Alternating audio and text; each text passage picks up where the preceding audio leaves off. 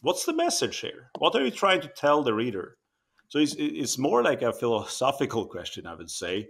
But, but you need to put yourself into the shoes of the reader and you need to make that message clear. I've seen pipe mm-hmm. stress reports that doesn't conclude on anything. It's just reporting a bunch of numbers. There's no statement in there saying that this system is safe to operate, for example, or mm-hmm. everything is in accordance with the codes and regulations. Of course, me as a pipe stress engineer would see that it is, but it's not obvious to every reader of the report. Yeah, I, I also remember it came as a shock to me at the time is when I found out that um, most of the people that receive the the report don't actually read it in detail. You know, I, I, felt you know I had to report everything. Everybody has to know everything. You can't expect everybody to read it. Uh, very busy people. That was something that was I, I remember a big learning point for me at the time. Exactly what you're talking about the the audience mismatch. You you don't match with the audience.